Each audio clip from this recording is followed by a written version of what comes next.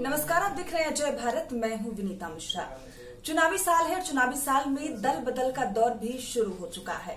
राजद के वरिष्ठ नेताओं में से एक, रघुवंश प्रसाद राजद से नाराज़ चल रहे हैं। उन्होंने पार्टी से इस्तीफा भी दे दिया है। लेकिन अब इस बीच जो खबरें सामने आ रही है, वो वाकई बड़ी खबर है।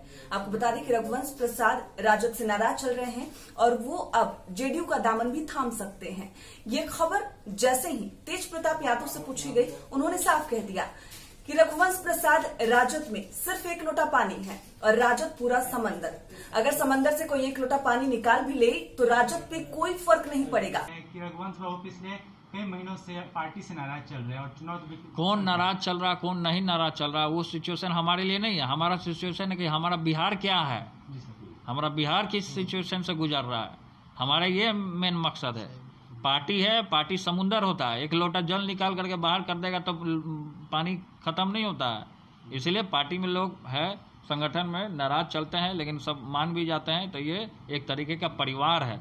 परिवार में नाराज़गी चलते रहती है। और जैसे ही तेज प्रताप यादव का ये विवादित बयान सामने आया है, उसके बाद, अब राजद की तरफ़ से जो ये विवादित बयान सामने आया है, उसके बाद अब जेडीयू प्रवक्ता राजीव रंजन ने साफ़ कह दिया है कि रघुवंश प्रसाद अगर जेडीयू में आते हैं तो उनका वेलकम है। जेडीयू प्रवक्ता राजीव रंजन ने क्या कुछ कहा? आइए आपको सुनाते हैं।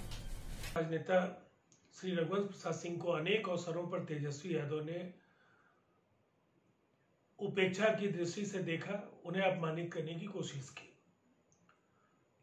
पिछले दो दिन पहले उन्होंने एक मुलाकात के ज़रिए एक खानापुरी करने की कोशिश की है।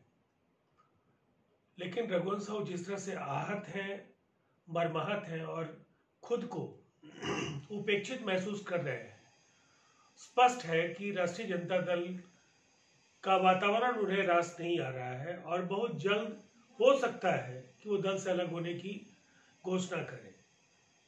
निसंदेह रघुवंश साहू जैसे कद के नेता अगर जनता दल यूनाइटेड की तरफ़ आना चाहेंगे तो निसंदेह पार्टी को प्रसन्नता होगी।